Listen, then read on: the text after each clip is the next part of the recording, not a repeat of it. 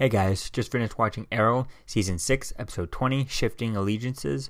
Um, wow, what an episode. Um, this episode starts off with Renee is back from the hospital. He's getting ready to join back the team, the Outsiders, what I call them, but uh, they don't really have a name, which I wish they gave themselves a name so we know what to, to call them. Um, Oliver tries to get Anatoly to turn on Diaz uh, by offering him you know, here I got you back into the Bratva, and here you go. If you do this, I'll be able to get you uh, for this. I'll be able to give you, uh, you know, back into the Bratva if you help me take down Diaz. And it kind of backfires on him, but it kind of doesn't at the same time. Uh, Diggle uh, is fitting well into Argus. Uh, Black uh, Black Siren ends up setting up a meeting with. Um, Diaz and Quentin, since he's now the mayor, now that Oliver Queen is is you know impeached and stuff.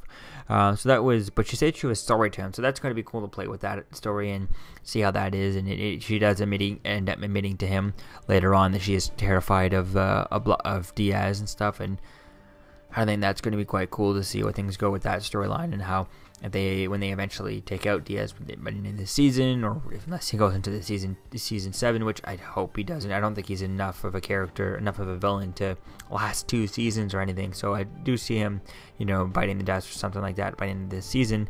Um, him doing that, and you know, how is that relationship? How where is Quentin's relationship with um, Black Siren going to be? after this season. So I think that's really going to be cool to see all that. Um, the Outsiders end up taking down a drug operation, but it ends up being a sting where they were just trying to take out uh, one of them is trying to take out the other uh, drug gang and stuff, and Diggle ends up showing up with Argus to save them. Diggle ends up apologizing to the team, um, and then Ray, Renee ends up going to Diggle because he started having problems with joining back, going back out in the field, and um, he's he's not really ready to go back because he's worried about Zoe, his da- his daughter, and stuff.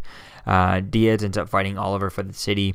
End up having an interesting fighting match, which was interesting the way they did it because there was like no background music. It was just them fighting. It was quite nice the way they did it, quite different, and it was quite interesting the way that, that they did.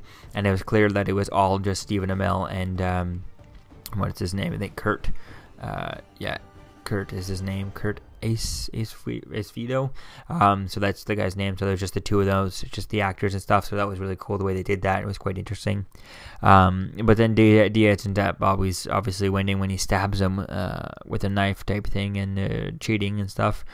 So, and then uh, later on, we see that we find out that Zoe, uh, Renee's daughter, knows that she's Wild Dog and you know knows about everything because um, because uh, Quentin, because uh, Curtis and um, and Dinah, whenever they're uh, were taking over or watching uh, Zoe while Renee was in the hospital, they were talking way too loud about their secret stuff, and I think that's a quite an interesting idea because there's so many times in TV shows where where the characters just kind of like, hey, I need to talk to you, and they just step like two or three feet, they step across the room you know, they go from one corner of the room to the other room. You're still in the same freaking room. They can hear you. You know, the person's not deaf. You're not in a in an old folks home. It do, that doesn't work to just step out, step two feet, and then, uh, you know, step ten feet away, and then say, oh, you can't hear them. No, no, no. You got to get out of the room, go to a different room, then they can't hear you. So I think that's quite interesting playing with that, and I liked when they do this, make it more realistic rather than just oh, let's just whisper a little far away, and then, no, it doesn't work like that.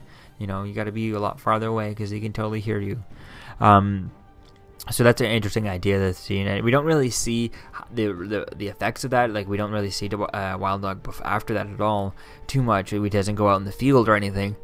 Um, but it's going to be cool to see that going out uh, for the rest. You know, going out like he's going to be going out and fighting and stopping Diaz for Zoe, you know, not uh, in spite of Zoe or anything like that, just or not while worrying about Zoe, but uh, just kind of doing it for her. And I think that's going to be quite an interesting idea to play with that and to see how that relationship's going to go, as that builds up, and maybe see what what um, Diggle's opinion on that idea is and how that's going to be. And you know, think if this show goes long enough to see Diggle's uh, son I think is it John D- Diggle Jr. is his name, or is it no his daughter type thing? I don't know. It's confusing as to which one is left. I'm pretty sure he has a he has a son right now, but now it's a it was a daughter, now it's a son.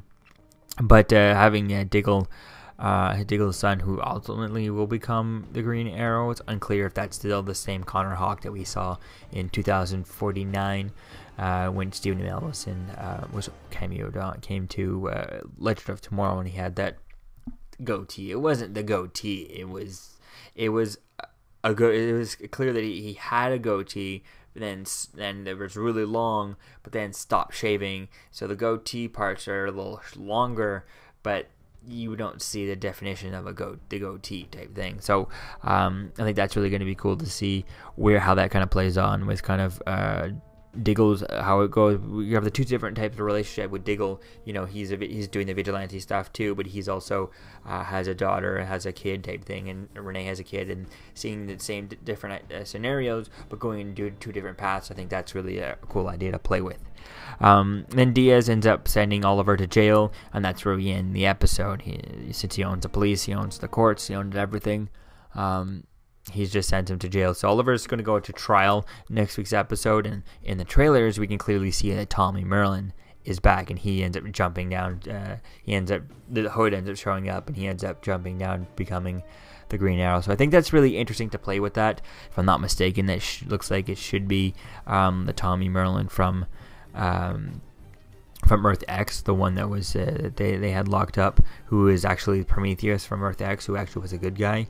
Uh, so that's going to be cool to check that out. It kind of makes me want to rewatch the um, the uh, the crossover actually again. And I think I might do that, or at least just that episode, or jump to that that clip just to when he explains himself because he's only in there the crossover for a very brief moment since he's busy on his own TV show. So I think it's really going to be cool to see um, how that kind of works out and, and kind of just see some backstory to that. I think it's really going to be cool to see where, where things go and how that kind of all plays out. And you know, is this that is it that that that um, Tommy? I think it's quite interesting to see that, and I'm surprised that they put that in the trailer and not put that at the end of this episode. That was the reveal, you know.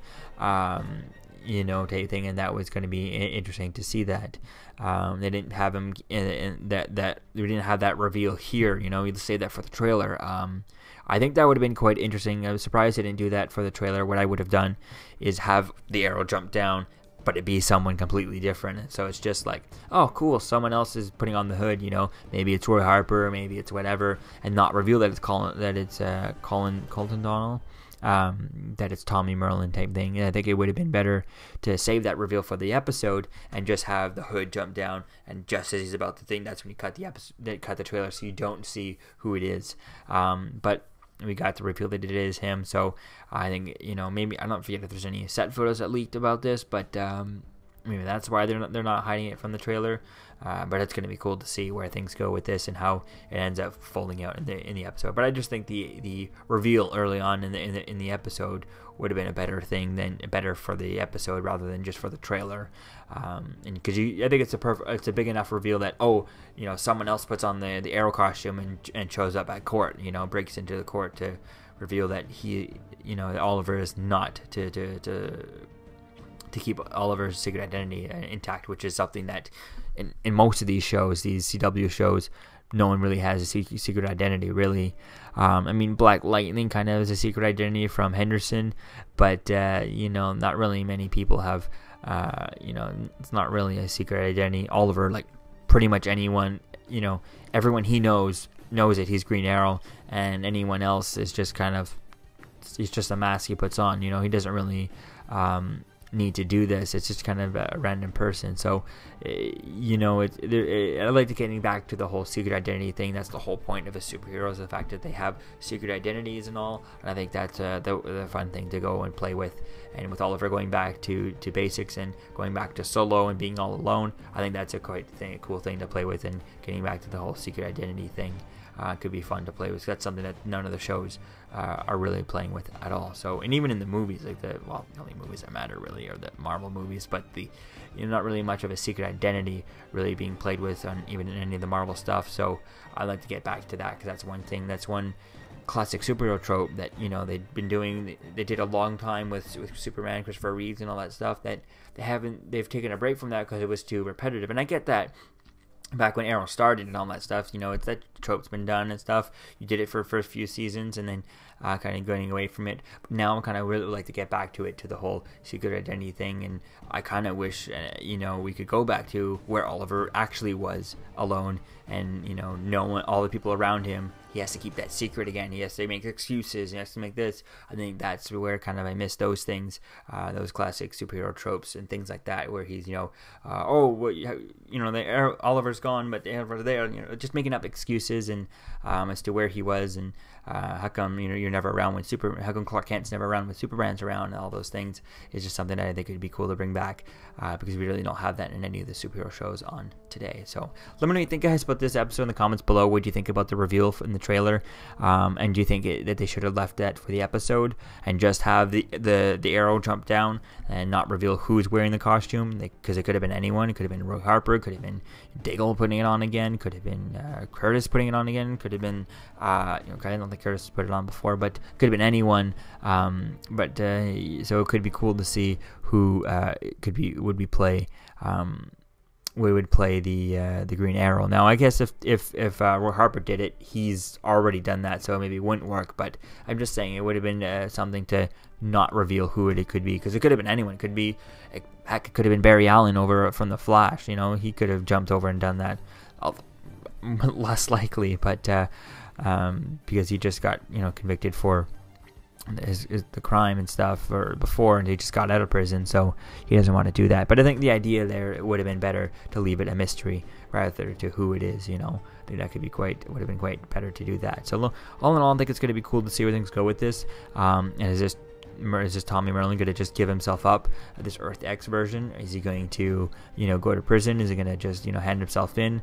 Um, and why is he doing this? What what is the explanation? Is he going to do this? Obviously, he might do this because you know on his Earth maybe he became Green Arrow because Oliver Queen died and all that stuff, and it's a vice the complete opposite roles. All the stuff happened to Oliver in this show happened to probably um, you know the other way around. Actually, no, his Oliver Queen is probably was the, the Nazi was the Hitler type thing. So I think that doesn't work out. But um, you know, as to what is his motivation and what is the motivation he's going to give to the courts as to why the Green Arrow is giving himself up rather than just letting uh, you know uh, Oliver Queen take the fall so that he can continue being the Green Arrow. So uh, I think that's going to be a cool thing to, to, to play with and see how they, he explains that to the court as to why he's just giving himself in just because Oliver Queen's being um, you know, what connection does he have? What relation does he have to Oliver Queen that makes him want to, uh, you know, um, admit to, that he is the Green Arrow, even though he technically not. But he's, you know, why would he? Why would the Green Arrow kind of out himself? Uh, you know, if they have the wrong man, right? Why would he do that? So I think that's going to be cool to playing with that and what explanation he gives to the courts to the, for that. So that's going to be cool to see that. I can't wait to see where things go from here. And we still have to set up Roy Harper to coming back as a season regular, and to as to why um, Thea is going to not be a season regular or not be in season seven of uh, Arrow. I mean, she might be in one or two episodes. Like they might call her back for the um, for the mid-season crossover. That would be fun, and then have her take off for the after that.